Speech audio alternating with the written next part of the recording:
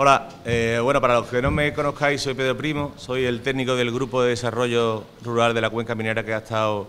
coordinando junto con, los técnicos de Diputación el, proyecto del Plan EVE en su edición de 2022, que ya es la novena edición de,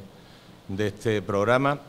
Y vamos a dar eh, paso pues, al acto de clausura de, las prácticas eh, no profesionales que terminan ahora, después de tres meses realizando las prácticas. Eh, voy a dar paso a la, diputada Yolanda, pero antes pues, quería, agradecer primero a, todos los, jóvenes que habéis estado eh, realizando las prácticas y, que habéis hecho con mucha diligencia y, según me cuentan las empresas, también con mucha profesionalidad. Y, por supuesto, también a las empresas que han participado, que, también, evidentemente, han puesto su granito de arena para que, para que vuestra formación de cara al, mundo laboral eh, sea lo más completa posible y que estoy seguro también que se han beneficiado de teneros allí entre sus empleados. Pues ya buenas tardes a, todas y a todos. La verdad es que es un lujazo y un placer estar hoy aquí en Nerva con el compañero, que además me ha enseñado el museo, así que he tenido una visita privilegiada. Por supuesto, daros a todos la enhorabuena por haber participado en este proyecto de, la Diputación Provincial de Huelva, pero que no sería posible, como bien ha dicho Pedro, eh, sin la colaboración, sin la aportación, sin la mano que se echa desde el Grupo de Desarrollo Rural de la Cuenca Minera, en este caso, de los propios ayuntamientos y, por supuesto, de las entidades colaboradoras, las empresas, todo el tipo de entes, porque tenemos empresas y tenemos organismos ya eh, no, no público, pero sin ánimo de lucro, que colaboran en esa primera oportunidad que se os da. Desde la Diputación Provincial de Huelva lo, que se plantea cuando hace pues, nueve años ya que, que, inician estas becas EVE es dar esa primera oportunidad. Yo creo que el nombre está bien puesto en ese sentido porque es verdad que salís al mercado laboral una vez finalizáis, en vuestro caso, eh, vuestras carreras universitarias y lo primero que se os pide es una,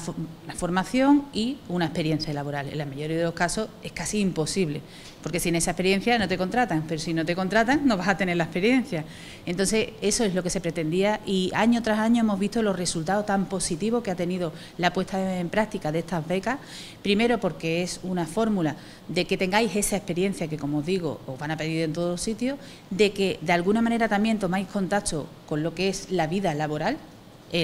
normalmente en el ámbito que habéis estudiado, y sobre todo, bueno, pues tener también ese recurso económico que, bueno, que también a nuestra, y lo decía nuestra edad, fíjate tú, a la vuestra, a la vuestra, pues se hace ya necesario pues ir teniendo ese, poquito de independencia. Nos gustaría que fuera más, nos gustaría que fuera más tiempo, pero bueno, que se han organizado de tal manera para que puedan ser más jóvenes de la provincia los que puedan acudir a estas becas eh, de práctica y sobre todo tomar ese contacto con las empresas, con las entidades que os acogen, que en la mayoría de los casos muchas veces pues se quedan eh, trabajando las personas que eh, participan de estas becas en las propias entidades, en las propias empresas. Si no, no pasa nada porque esa experiencia os va a abrir puertas y estamos seguros de que vais a conseguirlo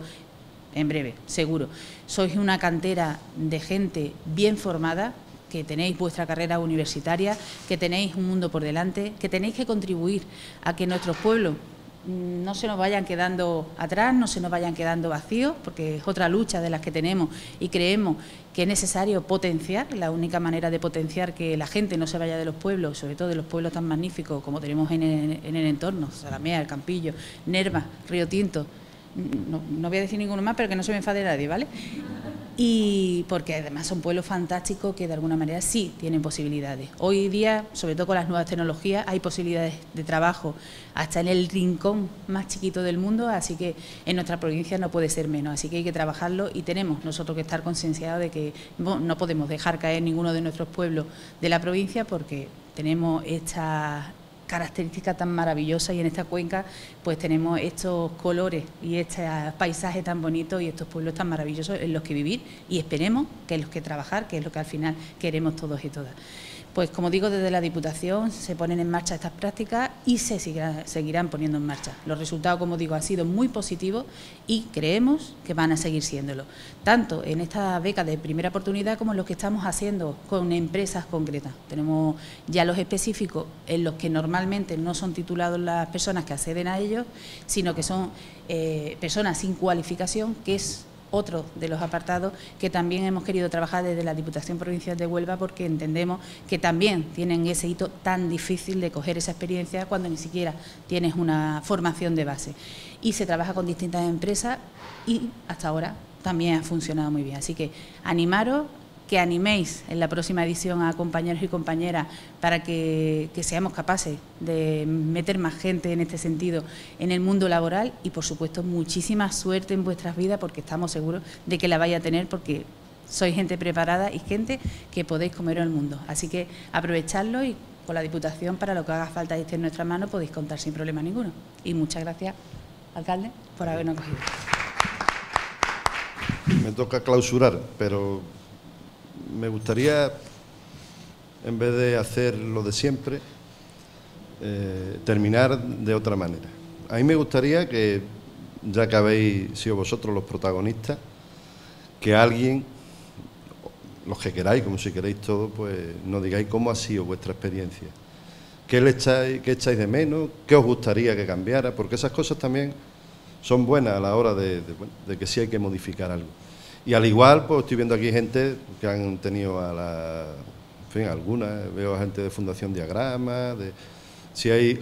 veo gente también de la Junta Directiva de, de la DR, la vicepresidenta, gracias por acompañarnos. Así que yo me gustaría que arrancarais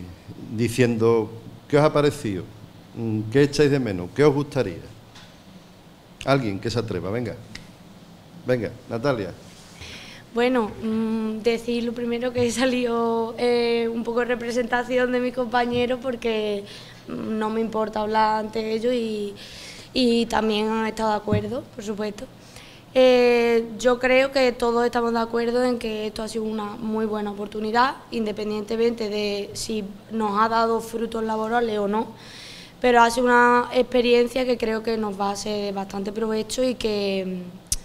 y que nos va a abrir puertas ya no laborales, sino como personalmente.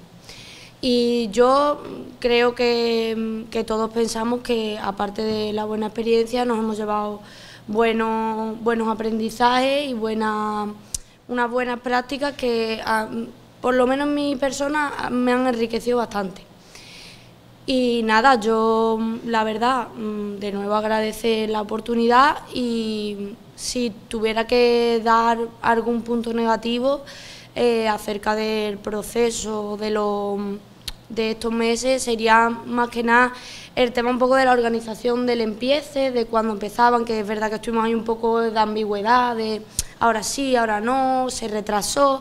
y, y el tema un poco de los pagos de los atrasos, más que nada. Mm, que bueno, es algo que al final se ha solucionado y que puede pasar en cualquier aspecto y en cualquier ámbito. Y nada, yo dar las gracias, creo que mis compañeros están de acuerdo también en que dé las gracias y, nada Bueno, pues vamos a clausurar ya. el Grupo de Desarrollo Rural, y no me canso de decirlo, no es ningún invento, no es ninguna fábula, los grupos de desarrollo rural son las herramientas que desde Europa se diseñaron para llevar el desarrollo a las zonas rurales de, en este caso, de los países que en aquellos entonces nos convergíamos y que de momento pues también lo seguimos teniendo. Las políticas de Europa, de ayudas europeas, pues una de, mm, esas ayudas, de, una parte de esas ayudas, se gestionan a través de estos grupos.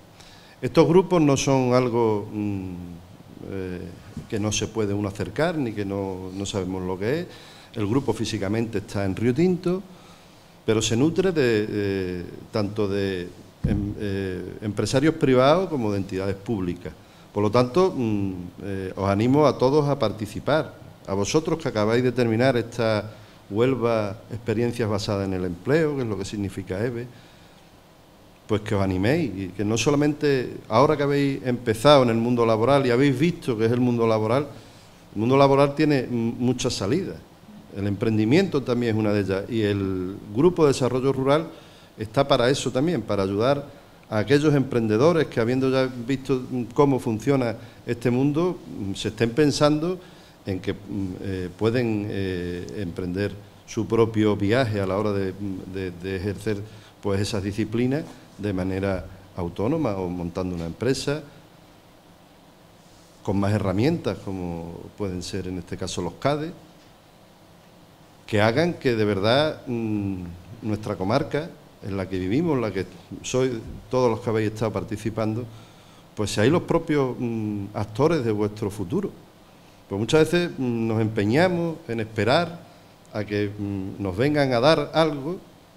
cuando la solución está en nosotros mismos. Aparte de eso, pues deciros que el Grupo de Desarrollo Rural va a seguir peleando, que efectivamente esta novena edición ha sido la más complicada de todo, sobre todo para empezar, problemas burocráticos, eso que los que nos dedicamos a la administración pública nos empeñamos en enredar muchas veces, en, poner más trabas que soluciones, cuando la administración está para eso, para administrar a los ciudadanos y procurar soluciones, no problemas, pero hay veces que no se consigue, sino que se consigue el efecto contrario, por lo tanto, señora diputada, toma nota de que estas cosas hay que corregirlas. Y que en estas comarcas, que muchas veces se piensa en, eh, igualdad y, en simetría, las comarcas que partimos con un déficit, mm, nuestra comarca partió con un déficit de, sobre todo de las crisis mineras, las ayudas tienen que ser asimétricas, porque si no son asimétricas nunca vamos a llegar a converger. Y de eso tenemos un clarísimo ejemplo en cómo funcionan o han funcionado las políticas europeas. Las políticas europeas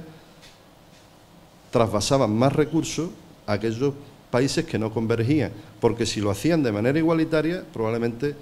la brecha cada vez sería más grande. Para acortar esa brecha y llegar a converger, tenemos que hacer políticas asimétricas. Y a la Diputación, que yo sé que, tú estás en ello, porque también eres y has sido alcaldesa de un pueblo, pues hay que hacer ese tipo de políticas para que de verdad lleguemos a converger y el territorio sea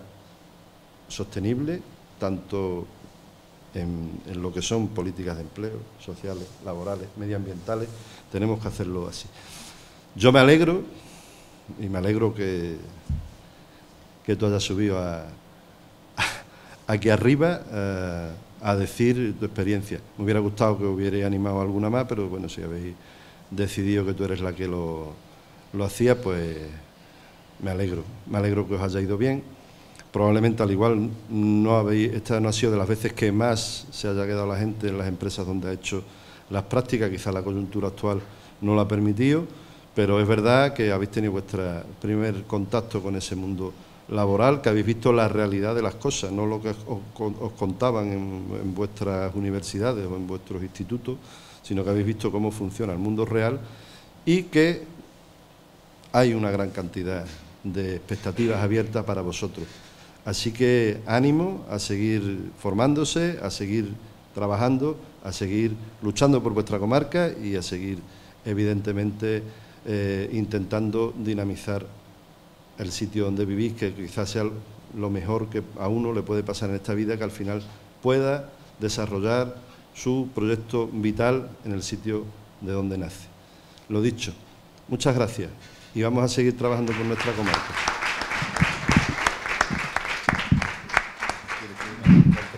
Sí, vamos. Eh. Natalia Valle Herrera.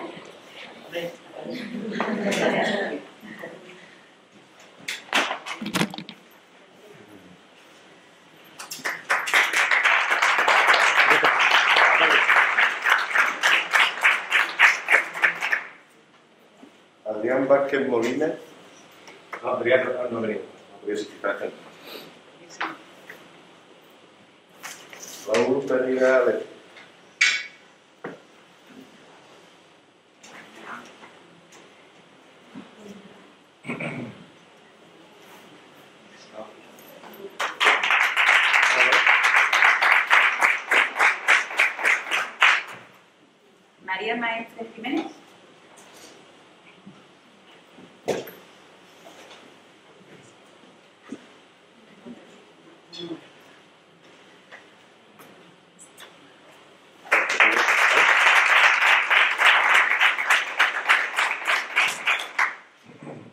Pereira Martín.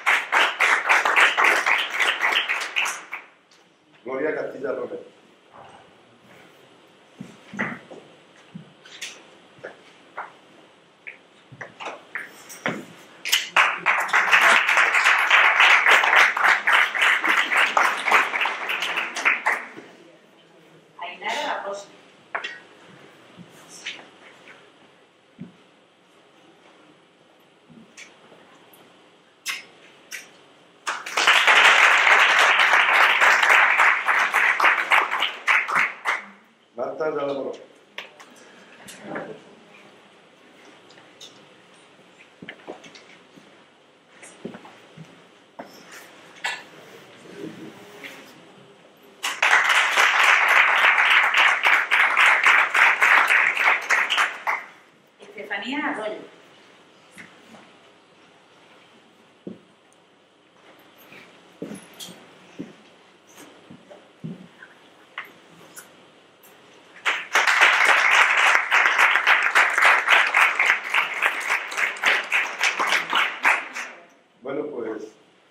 Alguien tiene algo más que añadir, que decir,